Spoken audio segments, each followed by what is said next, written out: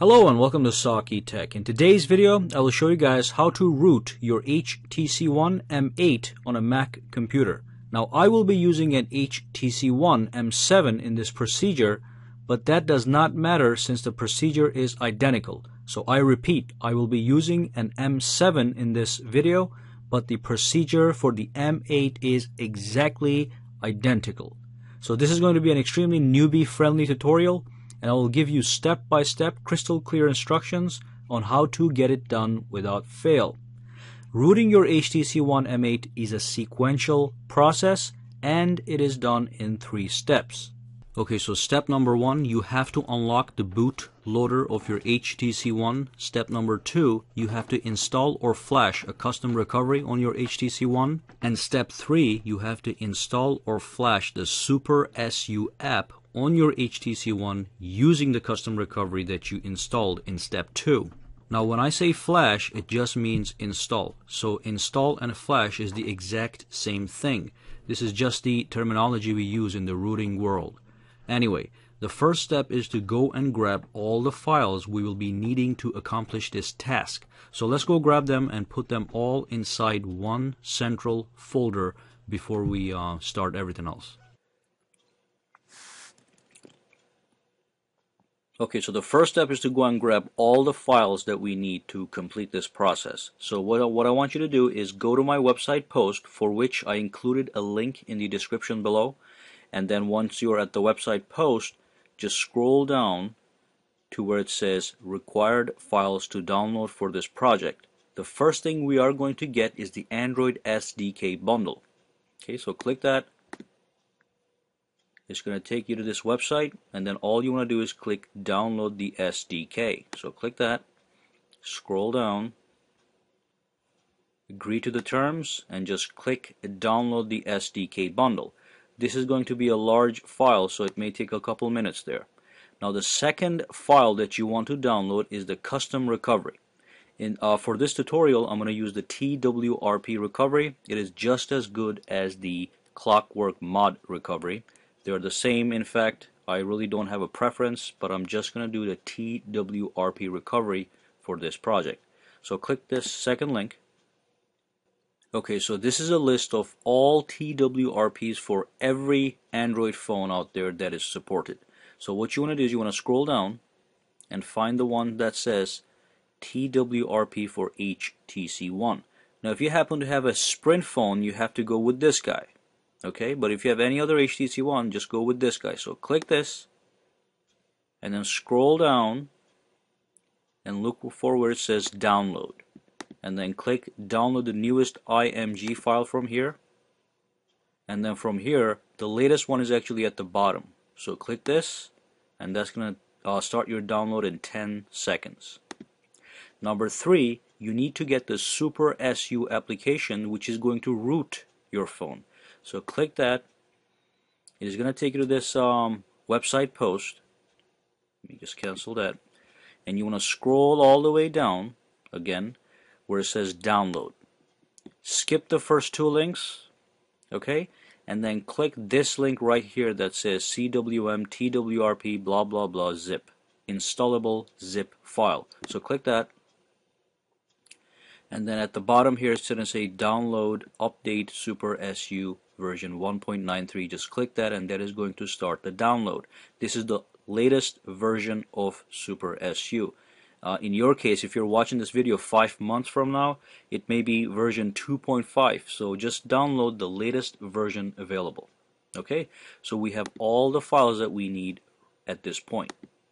Okay, so now that we have downloaded all the files, we're going to organize them really quick. So go to your downloads folder. And the first thing I want you to do is unzip the ADT bundle file. So let's um, actually just double click on it. And it's going to start expanding the file. Okay, once the expansion is complete, I want you to go into this folder, go to the SDK folder, and then find the platform tools folder and copy this folder and paste it on the desktop paste it on the desktop okay So let's put this right here. And then I want you to go back to your downloads folder and grab the TWRP recovery, move it over to the platform tools folder and do the same with the update super SU. And then you can actually get rid of this folder right here. So these are all the files we are going to need to complete this process in one convenient location. And now leave this folder alone and we're going to do a couple other things. I'm going to come back to that folder in a couple minutes. Okay, so at this point you can go ahead and you can connect your HTC One to your Mac computer. And as you can see, I'm using a MacBook Pro, but you can do this on an iMac too, obviously. So uh, just connect the phone and then go to Options, Settings, scroll all the way down, go to About, go to Software Information, go to More, click More, and then tap the build number seven times to enable the developer's options. Okay, so this is a secret menu. Tap it seven times. Now we want to go back. It says now you're a developer. Go back. Go back again. And one more time back in the settings. Scroll down. And now we have the developer's options enabled. So tap it. Click OK and make sure you have USB debugging enabled. Okay, after you have completed this step, make sure your phone is still connected to your Mac and you can just leave it as it is and now we're going to switch over back to our computer. Alright, so the next step is go to your um, Safari browser and go to the website htcdev.com. On this website, what you need to do is you need to register with this website to unlock the boot loader of your phone, you are going to have to register with this website. And also, I just want to let you know that now we're in the first step of the procedure. We're about to unlock the boot loader of our phone. So I already have an account, so I'm going to log in right now.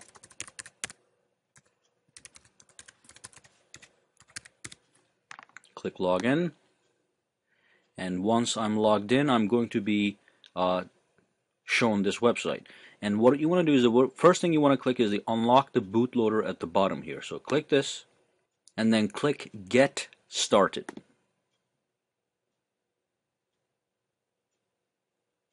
Okay, so from here you want to select the correct device under the supported devices section here. So if you click this and if you go all the way, you're not going to see you're not going to see HTC One on this list. You go all the way down and you choose all other supported models. You click that, then you click begin the unlock bootloader process. Are you sure you want to continue? Yes. And then you have to acknowledge these things. You can read them if you want. I recommend that you do. And then once you're done, click proceed to unlock instructions. You click that, and then we're going to start the unlocking instructions. Okay, so when you're on this home page here, I want you guys to skip step one. I want you guys to skip step two, but make sure you complete step three. And all you have to do is make sure your phone is powered on and it is connected to your Mac computer. And then step four, I want you guys to skip that as well. And then click proceed to step five. Okay, so once we're on this website here, we are going to follow all the steps as outlined here. But as you can see, they're using Windows as an example. So we're just going to use the terminal on the Mac. So the first thing I want you to do is I want you to launch the terminal. Just press the search icon on the top right and type in terminal. Press start and the terminal is on. So this is the same thing as this guy. This is the Windows version right here. This this one right here is the Windows version and the one that you have is the Mac version. They're both command line utilities. Uh, what I want you to do is using the terminal, we are going to navigate to this platform tools folder. So type in ls, which means list. It creates a list of all the folders and shows them right here. And you want to go to cd, which means change directory space. You want to go to desktop. Okay, so now we're focused on the desktop. And then you want to again type in cd platform tools. So now we're focused inside this folder. Okay? And the first thing I want you to do when you're here is type in dot slash adb reboot bootloader. And the reason we're doing this is because we want to send the phone into the fast boot mode and from there we can start following these procedures on the website. So let me just minimize this and take a look at the phone. So when you press enter, the phone reboots into the fast boot mode, which is going to look just like this. And then you can tell it's fast boot because it says fast boot space USB, which is highlighted in red. So once we're here, we just want to make sure that the fast boot is working. So type in dot slash fast boot devices. Press enter. If you see a random number with fast boot right next to it, that means it is in fact working. Now we're all good to go. So let's go to the website right here. Put the terminal right here. We're going to do step by step. Let me keep this over here. There we go. Okay, so we're going to type the command that it says says it says type in command prompt fastboot OEM get identifier token. So that is exactly what we're going to do right now. Except that we have to put the dot slash before we type the command. So type in dot slash fastboot OEM get identifier token. Okay, and then press enter. And then you're going to get this chunk of data. So if you scroll down, it's going to tell you that you're supposed to see that. What they want you to do is they want you to select this whole thing. So go back to the terminal. And to select this, you have to type in Command and Option on your uh, keyboard on your Mac computer. So type in, I mean, press and hold Command and Option, and your cursor changes it to a plus. And make sure that you grab it all the way from the top here where it says identifier token start to all the way whoops to the end. And as soon as you release it right click copy. So you have copied this entire uh, text that they want you to copy. And again press option command at the same time and then select this area and then right click to copy. Okay, so once we have copied that, we want to scroll down, keep scrolling down to step number seven, and then they want you to actually paste your token right here. So paste your token right here, and then click submit. Now the next thing that happens is you will be getting an email in your inbox with the same email that you used to register for this website uh, and they're going to send you a small attachment which we're going to use right now. So let's go to my email and grab that little attachment. So I went to my Gmail account I logged in and I I, um, I, I went to the email that was sent to me by the HTC Dev website and this is it. So all you want to do is you want to scroll down and you want to download this attachment. Okay so download. It is going to my downloads folder and then do not close the email scroll up and it says click here to continue the boot loader unlocking process. And that is exactly what you want to do. Click this. And it is going to take you to step 8 now before we continue with the step 8 minimize everything go to downloads and just grab this unlock code dot bin and copy it and paste it right here. Okay so everything should be in this folder. We want to we want a centralized location to keep everything in order. So we put the unlock code in there. And then over here back at the website the HTC dev website what they want you to do, you can skip step 8. They want you to send that unlock code to your phone. So how do you do that? Go back to the terminal, this guy right here, and at this point I want you to type in clear so you can clear this mess on the screen and then type in dot slash fast boot flash unlock token space capital U unlock underscore code dot bin. Okay? Now remember we are focused in the platform tools folder and we just moved the unlock code bin to the platform tools folder. So we're good to go. So all we're doing is we're flashing the unlock code dot bin this guy right here to our phone. So as soon as I press enter this thing went to my phone. Now let's look over to to our phone real quick if you look at your phone at this point this is what you're gonna see it's saying unlock the bootloader yes or no of course, you're going to say yes because we're trying to root the phone. But I just want to give a big warning here that um, you are going to lose everything that is on your phone after you do this. So I hope you have a backup, you know, back up your music, back up your um, movies, back up your pictures, everything. Okay? And then once you're ready, using the volume up key here, volume up key, switch to yes and then press the power button to select to say OK. So press the power button. Oops, I'm sorry. Go to yes, make sure you're in the yes, and then press power. Hmm.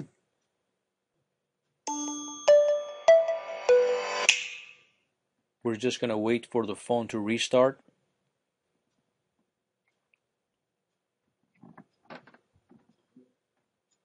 and then because you did the I told you everything is deleted so you're at the beginning. So this is a fresh copy okay? So skip all this nonsense exit and we're at the home page.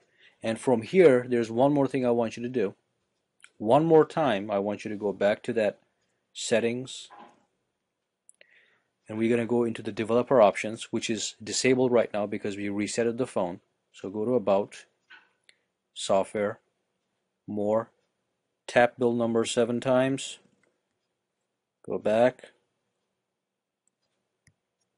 scroll down, developer options, USB debugging, enabled. Okay, so now we can move on to the next steps. Okay, so I just want to clarify at this point that your um, phone, you know, we already did the step 10, and at the bottom here, it says you're ready to go. Do not uh, do step 11. Step 11 reverses the boot unlocking the, the bootloader process. So we just unlocked our bootloader and we're done. If you follow step 11, it will relock your boot loader. Okay, you don't want to do that because we want to root our phone. Anyway, it says you're ready to go. So now we're going to completely get rid of this website. You can actually exit from this website. Okay, now we're going to completely focus on the terminal uh, right here.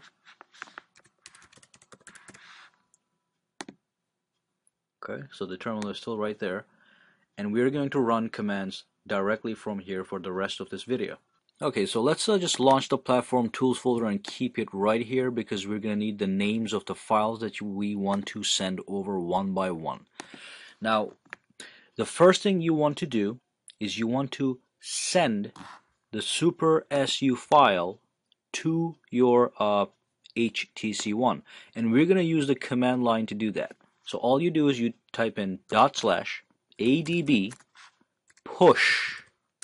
Okay, and remember we are still focused on the platform tools folder. So we are working within this folder using the terminal. So type in dot slash adb space push and push is just a command to send a file from your PC or your Mac to your uh, phone, Android phone. So now we're going to type in this address, this whole file name exactly as it appears. I'm just going to copy and paste the name of the file. Not the file, the name of the file. Okay, so edit, paste. And you also have to include dot .zip. So this is exactly what it's going to look like. Okay, now this is the file we are sending to the phone. We also have to specify where in the phone we are sending it. So this is all I want you to type slash SD card slash. press enter and it said that in 0.472 seconds that file was sent over no problem. Now the other thing we want to do is the final thing we want to do is we want to send the custom recovery to our phone. We have to flash it though. We're not going to this is a push command so this just sends a file over.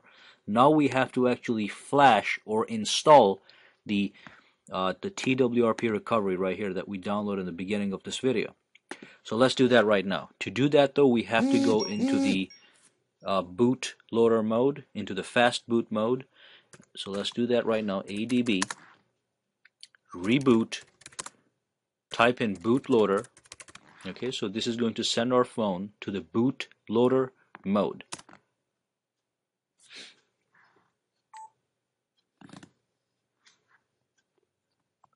Okay so there's the bootloader mode on the uh, on the phone.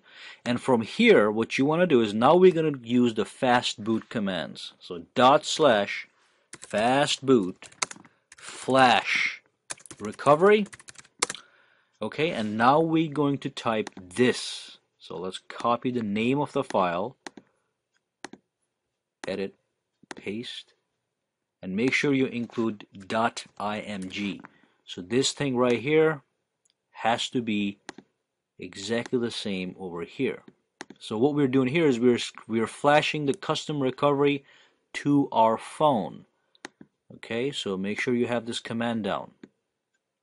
Once you're ready, press enter and that is going to send the recovery to our phone and here's the good news. We are done with the computer so let's switch over to my phone and finish the process there. Okay guys, so back on your phone, you're still going to be in this uh, in this window. What I want you to do is you can disconnect the phone from the computer. So you don't need the computer anymore at all. So all you need to do is, as you know, we were left in the fast boot mode. Now we can use the volume up or down keys right here on the phone, okay, to navigate between this menu. So let's go to the boot loader. So if you navigate, see, See that? So if you go back to, just type in, I want you to go right here. I want you to select reboot boot loader, press power, there we go, okay? And then go to recovery, okay? So this is where our custom recovery has been flashed to. Press power, I want you to press power after you select recovery, press power, watch this. It's saying entering recovery on the top. There we go. This is the custom recovery that we just installed. Remember, this was step number two. And uh, the final step is to flash the super SU file that I'm going to show you where it's at. So tap install. Okay. Scroll all the way down and this is the file at the bottom. It says update super SU that we initially, and a couple minutes ago, we flashed it over from the from the Mac to the to the um, to the phone. So tap it, okay, and then it says swipe to confirm the flash. Swipe it. Successful, and now your phone is rooted. But I'm just going to show you how you can tell if it is rooted or not. So tap reboot system.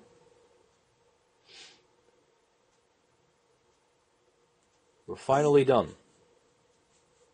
But you just have to verify that your Super SU is working. Super SU allows you to have super user access to your phone. That means you've got full control on what can and cannot happen to your phone. Almost. Okay, so let's uh, unlock the phone go to the app drawer. If you scroll down, you will see Super SU right down here. Okay, so this is something we had to flash over. It wasn't here in the beginning. Tap it. No thanks for now. Go to settings. Make sure super user is enabled. That means you do have root access. Okay, so you have Super SU on your phone. Your phone is rooted, and now you can go and do all the cool things that a root user can do.